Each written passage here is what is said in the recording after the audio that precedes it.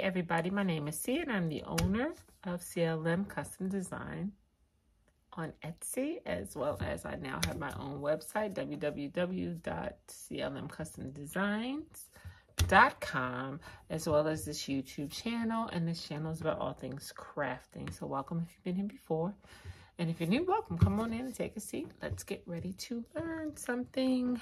Today, what I am going to do is to sublimate on a pair of socks. So if you want to see how I make these socks, stick around. Let's jump into the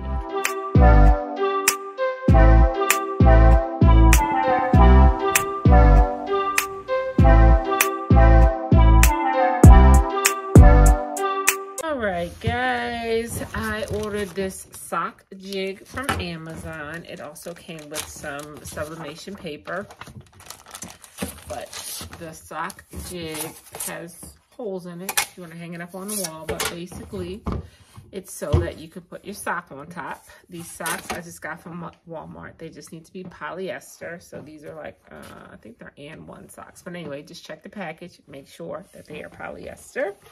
We are simply going to slip the sock onto the jig so that we can have a flat surface and so that it is, you know, kind of stretched out, okay?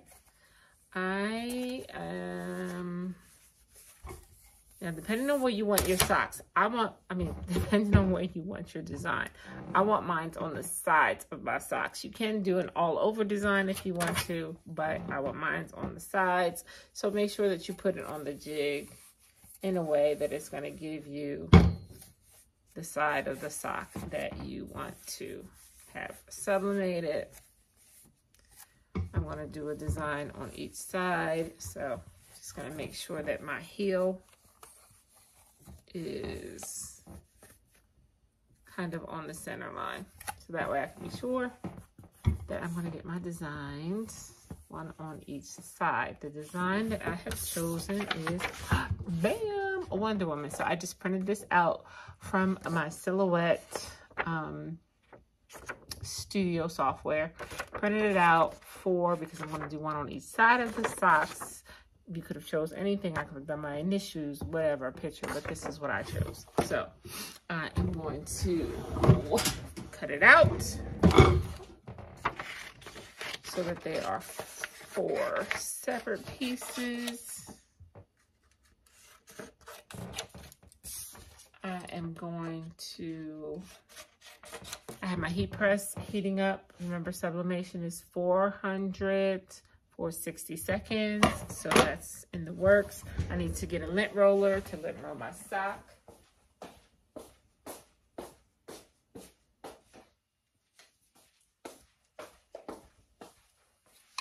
handy dandy lint roller. Yes, it's purple. But anyway, you want a lint roll to make sure that you have um, all the dust and everything off your sock.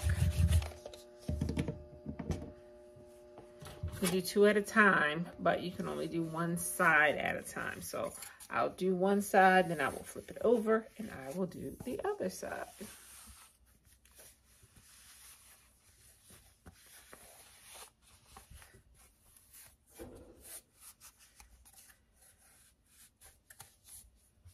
Okay, I'm going to and make sure my heel is in the right place. Lint roll this side. Really, really good. Then I'm gonna get my heat tape and tape it on. So I'm gonna lower you a little bit so you can see what I am doing because I just realized you probably do not see me even lint roll because you're a little too high. So let's get down.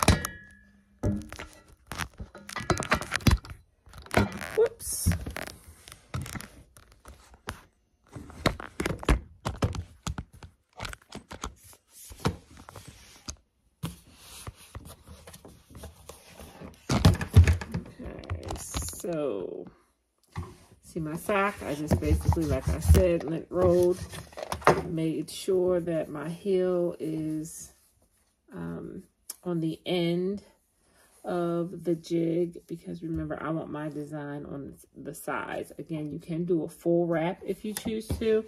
Um, I just am not doing that. So I am going to cut around this design. This is a situation where you could use um, spray adhesive if you wanted to. I am just going to use heat tape tape mine on.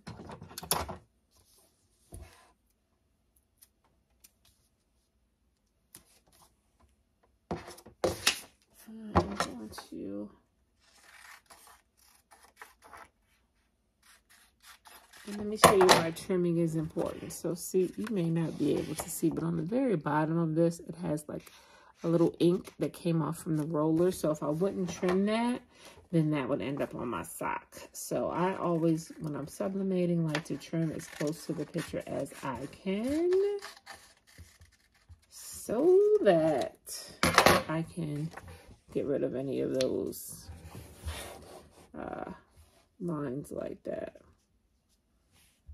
Kind of measure it, make sure it's in the middle. I'm doing this pretty quick because again, it's just for me.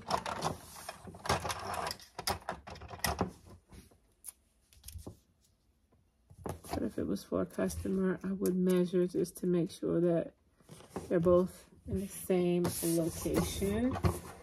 While I am waiting for my heat press to finish heating up, I'll go ahead and trim these other two so that they will be ready to go. And then we are going to go over to the heat press and get this in. This is a fairly quick video.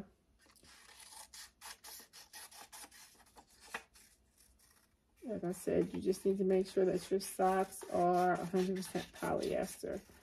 I mean, you could use a polyester blend, but make sure it's at least, at least I would say 60% polyester. But let's go over to the heat press and get it in.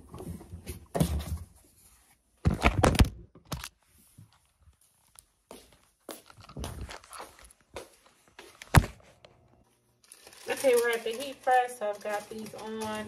I've got my blowout paper because remember we always need to cover sublimation because it will get on um, whatever material it touches actually, which is always why you put something in between. And if you picked up on it, no, I did not pre-press pre-press these socks. However, I should have, but I didn't. So remember, you pre-press to get the moisture out, then you lint roll. I did not do that, but I should have.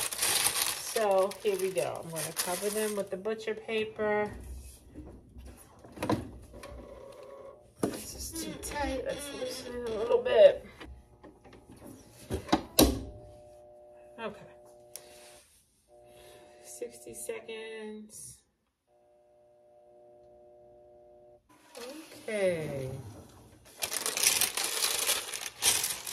You may or may not be able to see that there's a faint image on the paper, which is why we cover it. So now we are going to flip it over. And I'm going to, I'm going to take this off. I'm going to wait to take it off until I do the other side again. Just gonna do a quick lint roll. Obviously, this side is pre-pressed, right? We are going to put these one here. I'm gonna tape it down.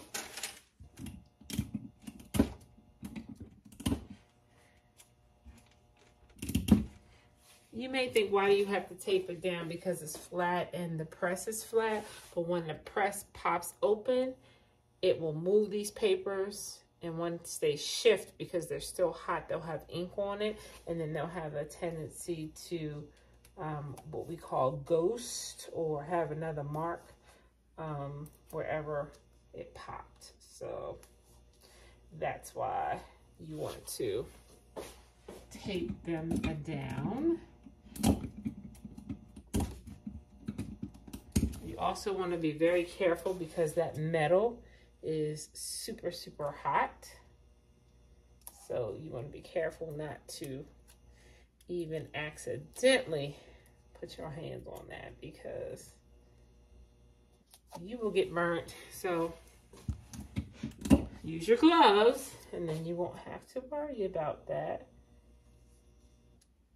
But you know, I'm hard-headed and these hands are like steel. They've been burnt so many times. Let's get a, get a clean piece of butcher paper because again, that blowout, if I were to use that same paper, the ink that blew out the first time will get on the socks. Okay, we are done. So now we can take it off.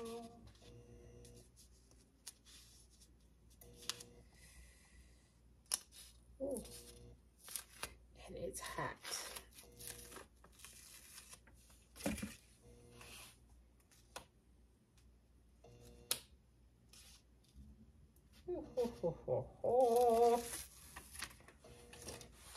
Let's flip it over. Take this off.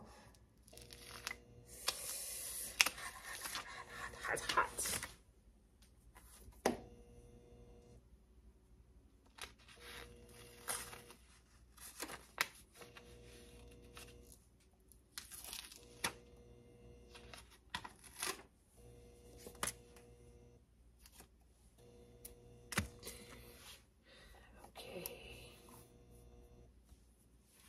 Heat gloves it's hot to be picking up.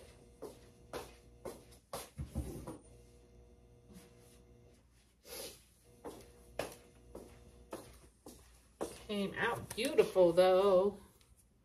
See that? Nice. Second one is, looks this is good. I could have put a name under there if I wanted to or whatever, but this was good enough for me. I'm gonna slide it off the jig, let the jig cool off. Alrighty, alrighty, alrighty. Here you go. There is Miss Afro Wonder Woman. And so I think these are the cutest things ever. Like I said, you could do a full design if you wanted to that wrapped all the way around um, to both sides of the socks if you chose to. But this is going to be fine for me. I'm going to slide them on and let you see what they look like on.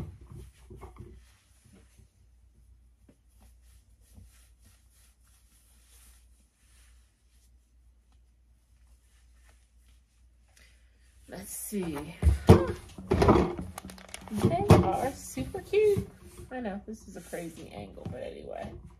Yep. I am happy, happy, happy, cute, cute, cute. So yeah, there you have it.